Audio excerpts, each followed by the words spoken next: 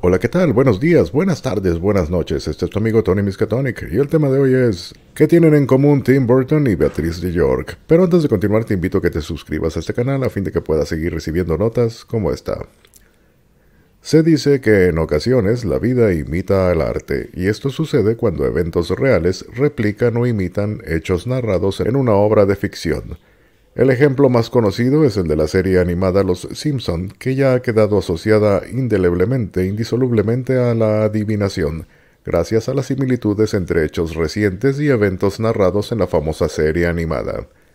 Ahora parece que se está gestando otra, o si no por lo menos promete ser un buen meme, el famoso director Tim Burton, creador de varios filmes de temática oscura, tan del agrado de los emos góticos y darkies, cuenta entre sus películas con una titulada El cadáver de la novia o La novia cadáver, historia basada en un cuento popular ruso-judío del siglo XIX.